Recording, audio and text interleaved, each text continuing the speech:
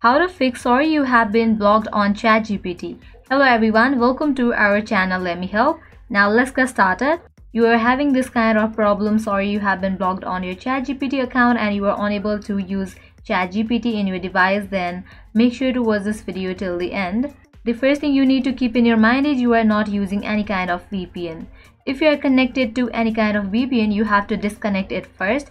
You can see that I'm connected to US VPN now firstly you have to disconnect and after you do that you can open a new tab and check whether ChatGPT is working or not.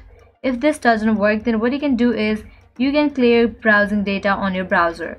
Click on these three dots, head towards this option of settings, open it. On the left corner you're gonna find different options, head towards this option of privacy and security.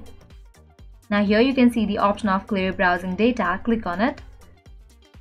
Click on this drop down of time range and select all time. Likewise, make sure you have selected browsing history, cookies and other site data, cached images and files, and then click on this option of clear data.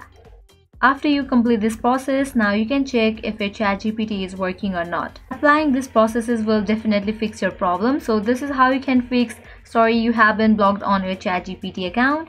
This was it. If you find this video helpful, make sure to like, share and subscribe to our channel. Thank you.